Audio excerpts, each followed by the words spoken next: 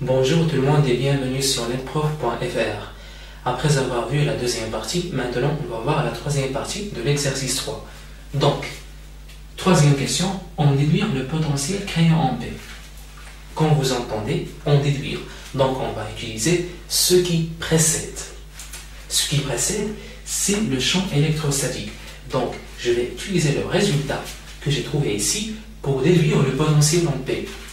Qu'est-ce que je vais utiliser alors La fameuse relation que vous devez tous savoir, qui est le champ est égal moins grade potentiel.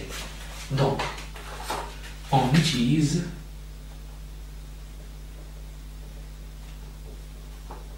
la relation E en P est égal moins grade VP. OK? Et ici, j'ai quoi?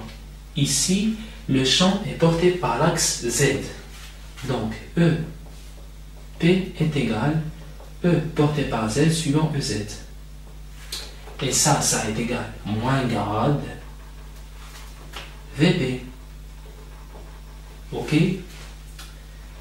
Donc, qui est égal moins grade VP, c'est moins DV sur DZ, EZ. OK? Donc, la norme, cette norme, est égale à celui-là, puisque j'ai ici le même vecteur unitaire. OK?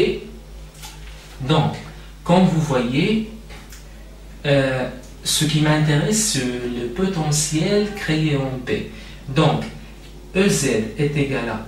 Donc, EZ est égal à moins dV sur dz.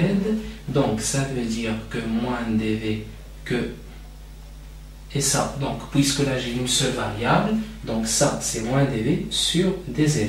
Puisque ce symbole, ça concerne les plusieurs variables. Ok? Puisque là j'ai une seule variable, j'ai le droit de, faire ce symbole. Donc, j'ai utilisé ce d parce que là, il y a une seule variable. Ok? Donc, ça veut dire ici que dv est égal moins ez Donc là, je vais utiliser le résultat encore de la première question. J'ai trouvé que EP est égal à lambda sur 2 epsilon 0, c'est R sur R au carré plus Z au carré à la puissance 3,5. Donc dV est égal moins lambda sur 2 epsilon 0 Z R sur R au carré plus Z au carré à la puissance 3,5 fois dz. Donc, ce qui m'intéresse, c'est le potentiel créé en P, le potentiel tout entier. Donc, il suffit de, Donc, si je veux le V, il faut faire l'intégrale. OK? Donc, la primitive.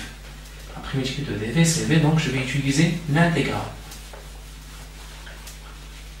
Donc, V est égal intégrale moins lambda sur 2 epsilon 0 ZR sur R au carré plus Z au carré à la puissance 3,5 dz.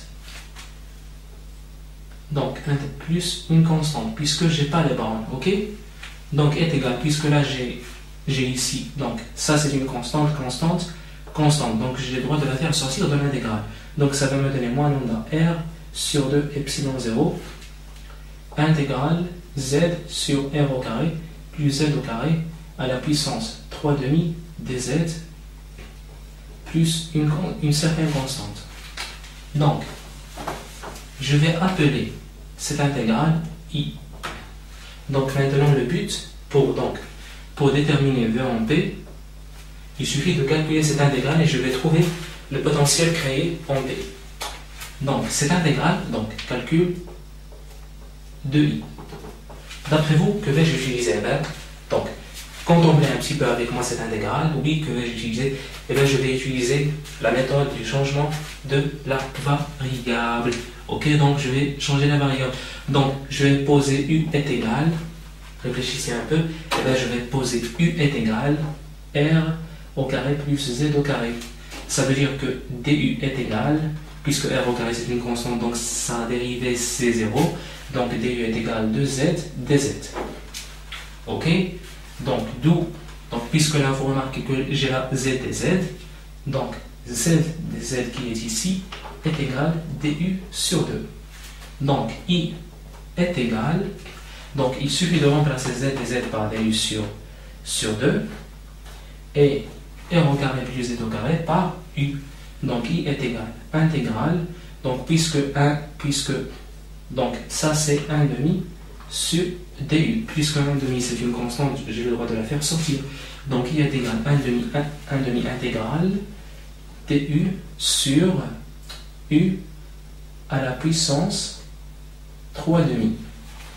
Ok? Donc ça est égal 1 demi intégrale u moins 3 demi fois du. J'ai fait ça pour simplifier les calculs. Ok? Donc i est égal 1 demi fois. Donc, ça, calculez-moi cette intégrale, et bien c'est très simple, c'est u, donc ça, ça est égal u moins 3 demi plus 1 sur moins 3 demi plus 1 qui est égal u moins 1 demi sur moins 1 demi. Donc ça, ça est égal u moins 1 demi sur moins 1 demi.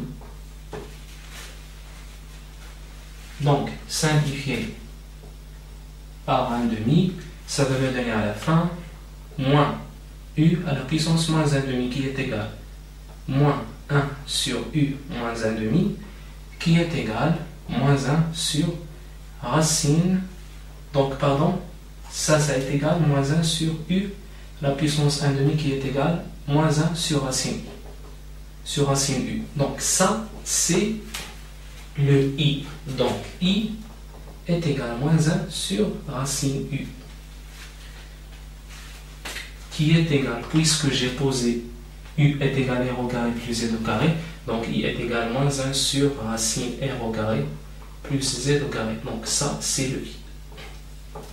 Donc il suffit de remplacer le i par sa valeur pour trouver le potentiel. Donc à la fin, V en P est égal à moins lambda R sur 2 epsilon 0. le moins avec le moins, ça va devenir plus. Donc je vais placer R ici sur racine R au carré plus z au carré, plus une certaine constante. Donc ça, c'est le potentiel créé en P. C'est ça exactement. Donc, comme vous voyez, la clé, c'est donc c'est cette intégrale. La clé, c'est le grade, pour savoir cette relation. Et donc, comme vous voyez, c'est très simple. Donc, je vous conseille de refaire l'exercice et de revoir la correction si vous trouvez un, problème. Donc merci pour votre attention et à une prochaine vidéo sur netprof.fr.